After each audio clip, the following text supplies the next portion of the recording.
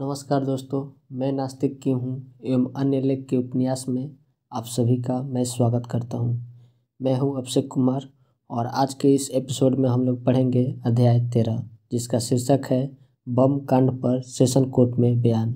आज के इस अध्याय के माध्यम से, आज के इस एपिसोड के माध्यम से हम लोग देखेंगे कि वास्तव में बम कांड पर भगत सिंह जी ने और उनके साथियों ने उस समय क्या बयान दिया था और उस समय का क्या स्थिति थी।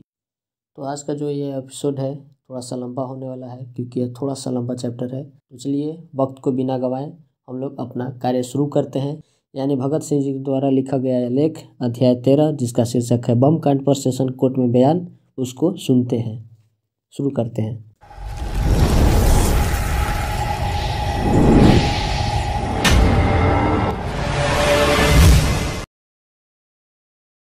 भगत सिंह और बटुकेश्वर दत्त द्वारा असेंबली में बम फेंकने के बाद 6 जून उन्नीस सौ उनतीस को दिल्ली के सेशन जज एम लियोनार्ड मिडिल्टन की अदालत में दिया गया ऐतिहासिक बयान।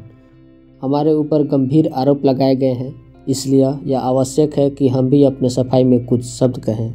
हमारे कथित अपराध के संबंध में निम्नलिखित प्रश्न उठते हैं। पहला प्रश्न यह उठता है कि क्या वास्तव में असेंबली में बम फेंके गए थे? यदि हाँ तो क्यों? दूसरा प्रश्न यह है कि नीचे की अदालत में हमारे ऊपर जो आरोप लगाए गए हैं, वे सही हैं या गलत? पहले प्रश्न के पहले भाग के लिए हमारा उत्तर स्वीकारात्मक है, लेकिन तथाकथित चश्मदीद गवाहों ने इस मामले में जो गवाही दी है, वह सरासर झूठ है। क्योंकि हम बम फेंकने से इनकार नहीं कर रहे हैं, इसलिए यहाँ इन गवाहों के बयानों की सच्चाई की भी परख भी हो जानी चाहिए। उदाहरण के लिए, हम यहाँ बता देना चाहते हैं कि सार्जेंट टेरी का यह कहना कि उन्होंने हम में से एक के पास पिस्तौल बरामद की, एक सफ़ेद झूठ मात्र है। क्योंकि जब हमने अपने आप को पुलिस के हाथों में सौंपा तो हम से किसी के पास कोई पिस्तौल नहीं थी। जिन गवाहों ने कहा कि उन्होंने हमें बम फेंकते देखा था, वे झूठ बोलते हैं। न्याय तथा निष्पक्ष व्यवहार को सरपरी मारने वाले लोगों को इन झूठी बातों से एक सबक लेना चाहिए। साथ ही हम सरकारी वकील के उचित व्यवहार तथा अदालत के अभी तक के न्याय संगत रवैये को भी स्वीकार करते हैं। पहले प्रश्न के दूसरे हिस्से का उत्तर देने के लिए हमें इस बम कांड जैसी ऐतिहासिक घटना के कुछ विस्तार में जाना पड़ेगा। हमने वह काम किस अभिप्राय से किया तथा किन परिस्थितियों के बीच किया, इसकी पूरी एवं खुली सफ़ाई आवश्यक है। जेल में हमारे पास कुछ पुलिस अधिकारी आए थे। उन्होंने हमें बताया कि लॉर्ड इरविन ने इस घटना के बाद ही असेंबली के दोनों सदनों के सम्मिलित अधिवेशन में कहा कि यह विद्रोही किसी व्यक्ति विशेष के खिलाफ नहीं, वरन संपूर्ण शासन व्यवस्था के विरुद्ध था। यह सुनकर हमें तुरंत भाप लिया कि लोगों ने हमारे इस काम के उद्देश्य को सही तौर पर समझ लिया है। मानवता को प्यार करने में हम किसी से पीछे नहीं हैं। हमें किसी से व्यक्तिगत द्वेष नहीं है और हम प्राणीमात्र को हमेशा आदर की नज़र से देखते हैं। हम ना तो बबरतापूर्वक उपद्रव करने वाले देश के कलंक है, जैसा कि सोशलिस्ट कहा लाने वाले दीवान चमनलाल ने कहा है, और ना ही हम पागल हैं, जैसा कि लाहौर के ट्रिब्यून तथा कुछ अन्य अखबारों ने सिद्ध करने का प्रयास किया है। हम तो केवल अपने देश के इतिहास, उसकी मौजूदा परिस्थिति तथा अन्य मानवोचित आकांक्षाओं के मननशील विद्यार्थी होने का विनम्रतापूर्वक दावा भर कर सकते हैं। हमें ढोंग तथा पाखंड से नफरत है। इस लेख के शीर्षक एक अपकारजनक संस्था। उस पर भगत सिंह जी ने और उनके साथियों ने क्या लिखा है, देखते हैं। यह काम हमने किसी व्यक्तिगत स्वार्थ अथवा विद्वेष की भावना से नहीं किया। हमारा उद्देश्य केवल उस शासन व्यवस्था के विरुद्ध प्रतिवाद करना था, जिसके हर एक काम से उसकी अयोग्यता ही नहीं, वरन अपकार करने की उसकी असीम क्षमता भी प्रकट होती है। इस विषय पर हमने जितना विचार किया, उतना ही हमें इस बात का दृढ़ विश्वास होता गया कि वह केवल संसार के सामने भारत की लज्जाजनक तथा असहाय अवस्था का ढिंडोरा पीटने के लिए ही कायम है और वह एक गैर जिम्मेदार तथा निरंकुश शासन का प्रतीक है। जनता के प्रतिनिधियों ने कितनी ही बार राष्ट्रीय मांगों को सरकार के सामने रखा, परंतु उसने उन मांगों को स्वर्था अवहेलना करके हर बार उन्हें रद्दी की टोकरी में डाल दिया। सदन द्वारा पास किए गए गंभीर प्रस्तावों को तथा कथित पार्लियामेंट के सामने ही तिरस्कार पूर्वक पैरों तले रोन दिया गया। दमनकारी तथा निरंकुश कानूनों को समाप्त करने की मांग करने वाले प्रस्तावों को हमेशा अवज्ञा की दृष्टि से ही देखा गया है और जनता द्वारा निर्वाचित सदस्यों ने सरकार के जिन कानूनों तथा प्रस्तावों को अवांछित एवं अवैधानिक बताकर रद्द कर दिया था, उन्हें केवल कलम हिलाकर ही सरकार ने लागू कर दिया। संक्षेप में बहुत कुछ सोचने के बाद भी एक ऐसी संस्था के अस्तित्व का औचित्य हमारी समझ में नहीं आ सका, जो बावजूद उस तमाम शानो शौकत के, जिसका आधार भारत के करोड़ों मेहनत कशों की गाढ़ी कमाई है, केवल मात्र दिल को बहलाने वाली थोथी, दिखावटी और शरारतों से भरी हुई एक संस्था है। हम सार्वजनिक नेताओं की मनोवृत्ति को समझ पाने में भी असमर्थ हैं। हमारी समझ में नहीं आता कि हमारे नेतागण भारत की असहाय परतंत्रता की खिली उड़ाने वाले इतने स्पष्ट एवं पूर्व नियोजित प्रदर्शनों पर सार्वजनिक संपत्ति एवं समय बर्बाद करने में सहायक क्यों बनते हैं? हम इन्हीं प्रश्नों तथा मजदूर आंदोलन के नेताओं की धर पकड़ पर विचार कर ही रहे थे कि सरकार औद्योगिक विवाद विधेयक लेकर सामने आई। हम इसी संबंध में असेंबली की कार्यवाही देखने गए। वहाँ हमारा यह विश्वास और भी दृढ़ हो गया कि भारत की लाखों मेहनतकश जनता एक ऐसी संस्था से किसी बात की भी आशा नहीं कर सकती, जो भारत की बेबस मेहनतकशों की दस्ता तथा शोषकों की गला घोटू शक्ति की अहितकारी यादगार है। अंत में, वह कानून, जिसे हम बर्बर एवं अमानवीय समझते हैं, देश के प्रतिनिधियों के सरों पर पटक दिया गया और इस प्रकार करोड़ों संघर्षरत भूखे मजदूरों को प्राथमिक अधिकारों से वंचित कर दिया गया और उनके हाथों से उनकी आर्थिक मुक्ति का एकमात्र हथियार भी छीन लिया गया। जिस किसी ने भी कमर तोड़ परिश्रम करने वाले मुख मेहनतकशों की हालत पर हमारी तरह सोचा, वह शायद स्थिर मन से यह सब नहीं देख सकेगा। बलि के बकरों की भांति शोषकों और सबसे बड़ी शोषक स्वयं सरकार है कि बलवेदी पर आए दिनों होने वाली मजदूरों की इन मुख्य कुर्बानियों को देखकर जिस किसी का दिल रोता है, वह अपनी आत्मा को चित्कार की उपेक्षा नहीं कर सकता। गवर्नर जनरल की कार्यकारिणी समिति के भूतपूर्व सदस्य स्वर्गीय श्री एस आर दास ने अपने प्रसिद्ध पत्र में अपने पुत्र को लिखा था कि इंग्लैंड की स्वप्न निद्रा भंग करने के लिए बम का उपयोग आवश्यक था। श्री दास के इन्हीं शब्दों को सामने रखकर हमने असेंबली भवन में बम फेंके थे। हमने वह काम मजदूरों की तरफ़ से प्रतिरोध प्रदर्शित करने के लिए किया था।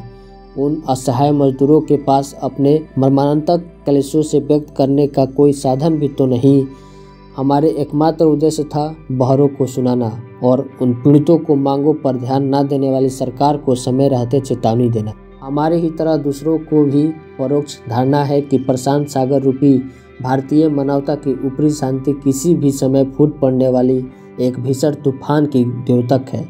हमने तो उन लोगों को सिर्फ़ खतरे की घंटी बजाई है, जो आने वाले भयानक खतरे की परवाह किए बगैर तेज रफ्तार से आगे की तरफ़ भागे जा रहे हैं। हम लोगों को सिर्फ़ यह बता देना चाहते हैं कि काल्पनिक अहिंसा का युग अब समाप्त हो चुका है और आज की उठती हुई नई पीढ़ी को उसकी व्यस्तता में किसी भी प्रकार का संदेह नहीं रह गया है। मानवता के प्रति हार्दिक सद्भाव तथा अमित प्रेम रखने के कारण उस व्यर्थ के रक्तपात से बचाव के लिए हमने चेतावनी देने के इस उपाय का सहारा लिया है और उस आने वाले रक्तपात को हम ही नहीं, लाखों आदमी पहले से ही देख रहे हैं। लेख का दूसरा टॉपिक काल्पनिक अहिंसा। ऊपर हमने काल्पनिक अहिंसा शब्द का प्रयोग किया है। यहाँ पर उसकी व्याख्या कर देना भी आवश्यक है। आक्रामक उद्देश्य से जब बल का प्रयोग होता है तो उसे हिंसा कहते हैं और नैतिक दृष्टिकोण से उसे उचित नहीं कहा जा सकता। लेकिन जब उसका उपयोग किसी वैध आदर्श के लिए किया जाता है तो उसका नैतिक औचित्य भी होता है। किसी हालत में बल प्रयोग नहीं होना चाहिए। यह विचार काल्पनिक और अव्यवहारिक है। इधर देश में जो नया आंदोलन तेज़ी के साथ उठ रहा है और जिसकी पूर्व सूचना हमें दे चुके हैं, वह गुरु Govind Singh, Shivaji, Kemal Pasha, Reza Khan, Washington Garibaldi Lafayette और लेनिन के आदर्शों से ही प्रस्फुरित है और उन्हीं के पद चिन्हों पर चल रहा है। क्योंकि भारत के विदेशी सरकार तथा हमारे राष्ट्रीय नेतागण दोनों ही इस आंदोलन की ओर से उदासीन लगते हैं और जानबूझकर उसकी पुकार की ओर से अपने कान बंद करने का प्रयत्न कर रहे हैं अतः हमने अपना कर्तव्य समझा कि हम एक ऐसी चेतावनी दें जिसकी अवहेलना ना की जा सके। शीर्षक, हमारा अभिप्राय। अभी तक हमने इस घटना के मूल उद्देश्य पर प्रकाश डाला। अब हम अपना अभिप्राय भी स्पष्ट कर देना चाहते हैं।